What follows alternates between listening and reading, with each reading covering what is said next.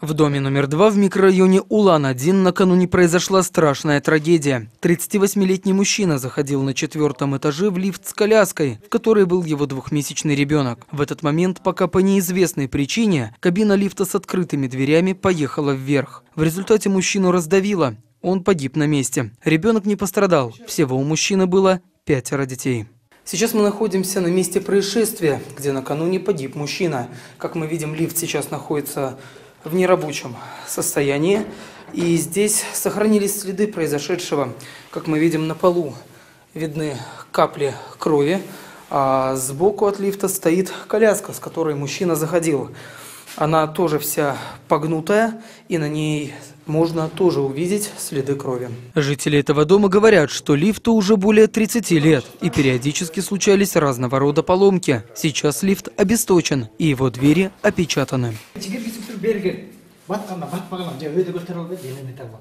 Я не понимаю, как такое могло произойти. Лифт же не может поехать с открытыми дверями. Я сам не видел, как все произошло. Мне внук рассказал. Погибшего затянуло вверх. Его ноги не доставали земли. Конечно, лифт старый. Некоторые застревали в нем. У нас же здесь много маленьких детей есть. Мы за них теперь боимся.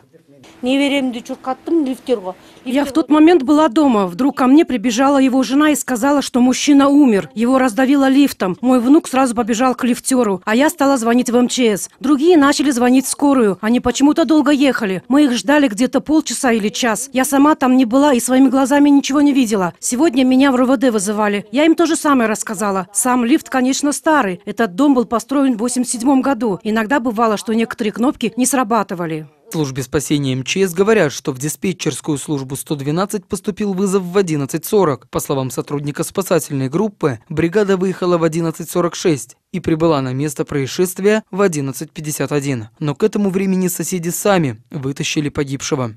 Жаран баласы менен кулап кетти деген маалымат келген К нам поступила информация, якобы человек с ребенком упал в лифтовую шахту. Но когда мы приехали, то поняли, что мужчина на самом деле не упал, а его придавило лифтом. Позже на месте происшествия работали сотрудники правоохранительных органов. В Бишкек-Горлифте, в свою очередь, говорят, что 88% лифтов по городу уже давно отработали свой нормативный срок эксплуатации. По словам директора этого муниципального предприятия, ежегодно производится замена неисправных лифтов, но в очень малом количестве. Средняя стоимость нового на сегодняшний день составляет миллион двести тысяч сомов.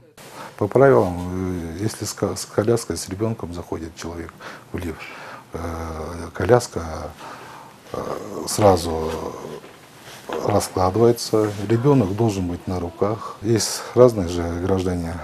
Кто-то пользуется прав- правилами правильного пользования лифта, некоторые игнорируют. Все лифты, которые состоят на балансе у нас в Бишкек-Горлифте, э, которые мы обслуживаем, э, есть диспетчерские пункты.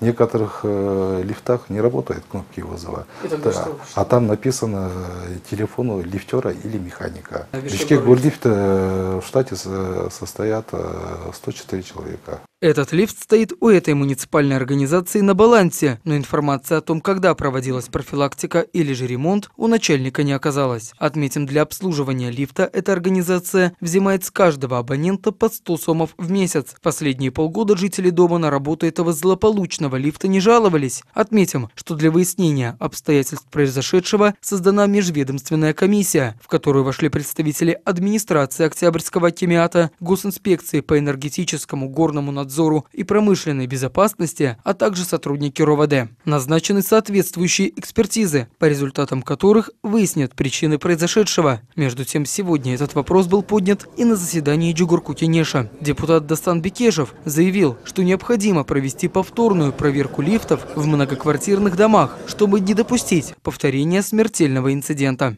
Тилекке каршы бишкекте ушундай лифттер эски лифттер Надо обязательно еще раз проверить все лифты, которые обслуживает Бишкек Горлифт. Все, что работает со времен Советского Союза, должно быть проверено. Надо создать комиссию и совместно с Госэкотехинспекцией, МЧС и мэрией провести инвентаризацию, чтобы такое больше не повторялось. Сейчас 21 век, и подобные случаи просто недопустимы. Отметим, что на балансе Бишкек Горлифта числится 1007 лифтов. Из них 659 в жилых многоквартирных домах и еще 348 в организациях. Елисей Кирпиченко, Жанарбек Дугдурбек Улу, НТС.